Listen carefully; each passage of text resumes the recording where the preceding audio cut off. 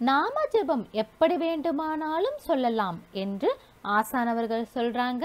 வாங்க என்ன சொல்றாங்கன்னு கேட்கலாம். நான் மன்னிக்கணும் எனக்கு. நான் என்ன செய்வேன்? செருப்பு போடாமல் எங்கேயும் நடக்க முடியாது. பழக்கப்பட்ட போயிடுச்சு எனக்கு. காலில் செருப்பு இருக்குது? தான் வேறு வழி இல்லை. மன்னிச்சுக்கணும் ஒரு வார்த்தை சொல்லிட்டு போகிறான் காலைல செருப்பு தான் இருக்குது மன்னிக்கணும். காலை செருப்போடு நான் வணங்கக்கூடாது. எனக்கு வேறு வழி இல்லை. அப்படின்னு சொல்லிட்டு அகத்தீஸ்வரா நந்தீஸ்வரா போயிட்டே இருக்கான். ஒரு கிலோமீட்டர் போகிறான் இது கூட ஒரு நூறு பேர் நூறு நாமத்தை சொல்கிறான் ஆசான் ஏற்றுக்கொள்கிறான் அதை. காலை செருப்பு இருந்தாலும் சரி எனக்கு விருப்பு இருக்குல்ல.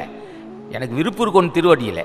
அந்த செருப்பை பொறுத்தா கவலைப்பட நீ தான் மன்னிக்கணும்னு சொல்ல போகிறான் அப்போ இப்படி ஒரு பூஜை. படுக்கும்போது அகத்தீஸ்வரா நந்தீஷா திருமல தேவா கரூர் தேவானா எந்திரிக்கும் போது ஆசா ஞான பண்டிதா மௌன குருநாதா சர்க்குருநாதா சண்முகநாதா பாவியும் ஏற்று அருள் செய்ய எந்திரிக்கும் போது படுக்கும்போது சொல்கிறான் போயிட்டு இருக்கும்போது சொல்கிறான் சாப்பிடும்போது சொல்கிறான் இந்த பூஜை அவன் ஏற்றுக்கிறான். நீ உட்காந்துக்கிட்டு பூஜை பொங்க புளியோர வச்சா பூஜை செய்கிறான் அதுவும் செய்யலாம் பிள்ளைகள் இருந்தான் சாப்பிட்றதுனால. ஆக இவ்வளோ லெகுவா இவ்வளோ லேசா. அப்படி க அவருடைய ஒன்று கடினமில்லாத பக்தி நெறி. எல்லோரும் பின்பற்றக்கூடியது. குளிச்சிடா அதை பற்றி அவசியம் இல்லை. உடம்பு தானே குளிக்குது.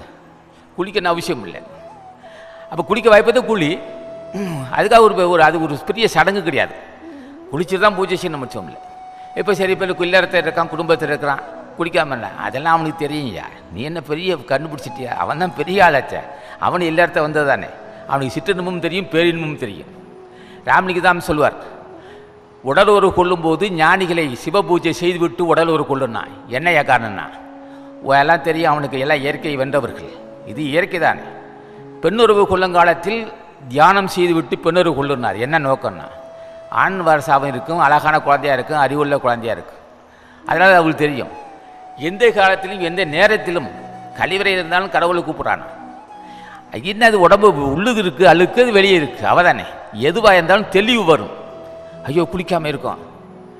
அந்த அறிவு எப்போ வரும்னா குளித்தா என்ன குளிக்காட்டேன்டா நாமத்தை சொல்கிறேன் இதை போய் என்ன வெற்றிடுறேன் எங்கே க ம கழிவறை சொன்னால் என்ன குளிக்கும்போது சொன்னால் என்ன பல்லு விளக்காமல் சொன்னா பல்லு விளக்கிட்டு சொன்னான்னா இதெல்லாம் என்னடா இருக்கும்? இந்த பக்குவம் ஒருவனுக்கு வரணும். சில பேர் பெரிய காரியத்துக்கு போய் இளவுக்கு போவான்.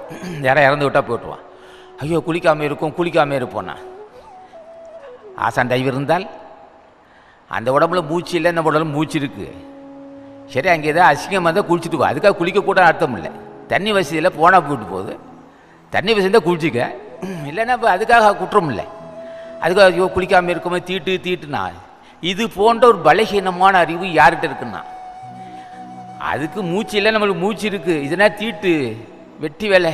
நாம் அதை சொல்கிறான்னா அப்போ சொல்லி கொடுக்கணும் ஒருவன். இதெல்லாம் குறையில்லை. இது தீட்டு இல்லை. இது தீட்டாக நினைக்காதே. குளித்தாலும் குடிக்காவிட்டாலும் அதுக்கு உடம்புன்னு அசுத்திய நா நா- நாற்றம் அடிச்சாக்கு குளிச்சுட்டு போ. சோப் போட்டு குழி எந்த சோப்பனாலும் போட்டு குழி உடம்பு சுத்தமாக வச்சுக்க துணிமுடி சுத்தமாக வச்சுக்க. ஆசானது அருளுரைகளை தொடர்ந்து கேட்க அரங்கர் டிவிக்கு லைக் பண்ணுங்க சப்ஸ்கிரைப் பண்ணுங்க. மறக்காம பெல் பட்டனையும் கிளிக் பண்ணுங்க.